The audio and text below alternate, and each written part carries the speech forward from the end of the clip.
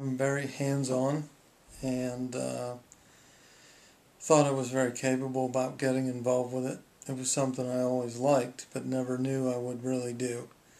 Um, but I like the industry.